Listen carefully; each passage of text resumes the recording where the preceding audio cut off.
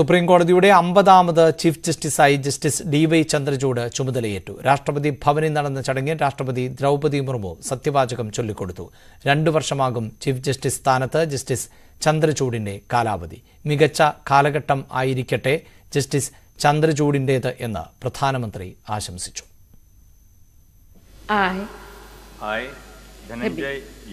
Chandrachud, having been appointed Chief Justice of the Supreme Court of India, having been appointed as Chief Justice of the Supreme Court of India, do swear in the name of God.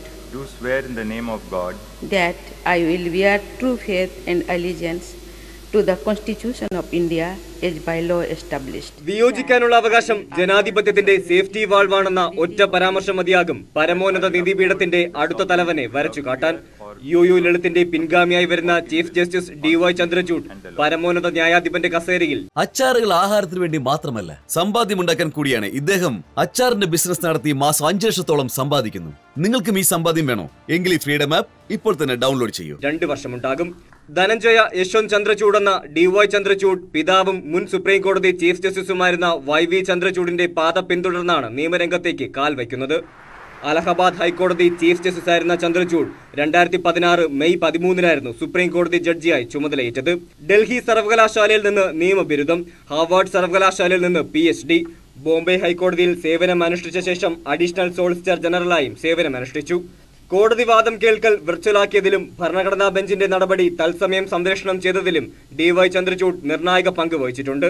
ശബരിമലയിൽ യുവതീ പ്രവേശനം ആധാർ നിയമം ലൈംഗിക ന്യൂനപക്ഷങ്ങളുടെ അവകാശം പൗരന്റെ സ്വകാര്യത സ്ത്രീ സ്വാതന്ത്ര്യം തുടങ്ങി സുപ്രീം കോടതി ഭരണഘടനാ ബെഞ്ച് പുറത്തിറക്കിയ സുപ്രധാന വിധികളിലെല്ലാം ജസ്റ്റിസ് ചന്ദ്രചൂഡിന്റെ വ്യത്യസ്ത കയ്യൊപ്പുണ്ടായിരുന്നു.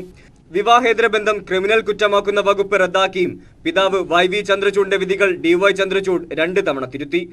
സൈന്യത്തിൽ വനിതകൾക്ക് സ്ഥിരം കമ്മീഷൻ നൽകിക്കൊണ്ടുള്ള ചരിത്രവിധിയും പുറപ്പെടുവിച്ചിട്ടുണ്ട്. National desk news eighteen. Supreme കോടതിയുടെ അമ്പതാമത് ചീഫ് ജസ്റ്റിസായി ജസ്റ്റിസ് ഡി വൈ ചന്ദ്രചൂഡ് ചുമതലയേറ്റു. രാഷ്ട്രപതി ഭവനിൽ നടന്ന ചടങ്ങിൽ രാഷ്ട്രപതി ദ്രൗപദി മുർമു സത്യവാചകം ചൊല്ലിക്കൊടുത്തു.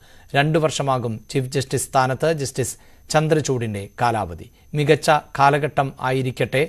ജസ്റ്റിസ് ചന്ദ്രചൂഡിന്റേത് എന്ന് പ്രധാനമന്ത്രി ആശംസിച്ചു I, I, Dhananjay Yashwant Chandrachud, having been appointed Chief Justice of the Supreme Court of India, having been appointed as Chief Justice of the Supreme Court of India, do swear in the name of God do swear in the name of God that I will bear true faith and allegiance to the constitution of India as by law established വിയോജിക്കാനുള്ള അവകാശം ജനാധിപത്യത്തിന്റെ safety വാൾവാണെന്ന ഒറ്റ പരാമർശം മതിയാകും. പരമോന്നത നീതിപീഠത്തിന്റെ അടുത്ത തലവനെ വരച്ചു കാട്ടാൻ യു യു ലളിത്തിന്റെ പിൻഗാമിയായി വരുന്ന chief justice D Y Chandrachud പരമോന്നത ന്യായാധിപന്റെ കസേരയിൽ രണ്ട് വർഷമുണ്ടാകും.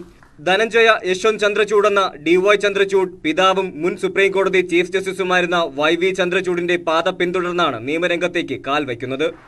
അലഹബാദ് ഹൈക്കോടതി ചീഫ് ജസ്റ്റിസായിരുന്ന ചന്ദ്രചൂഡ് രണ്ടായിരത്തി പതിനാറ് മെയ് പതിമൂന്നിനായിരുന്നു സുപ്രീം കോടതി ജഡ്ജിയായി ചുമതലയേറ്റത്. ഡൽഹി സർവകലാശാലയിൽ നിന്ന് നിയമബിരുദം ഹാർവാർഡ് സർവകലാശാലയിൽ നിന്ന് പി ബോംബെ ഹൈക്കോടതിയിൽ സേവനം അനുഷ്ഠിച്ച ശേഷം അഡീഷണൽ സോളിസിറ്റർ ജനറലായും സേവനമനുഷ്ഠിച്ചു. കോടതി വാദം കേൾക്കൽ വിർച്വലാക്കിയതിലും ഭരണഘടനാ ബെഞ്ചിന്റെ നടപടി തത്സമയം സംരക്ഷണം ചെയ്തതിലും ഡി വൈ ചന്ദ്രചൂഡ് നിർണായക പങ്ക് വഹിച്ചിട്ടുണ്ട്.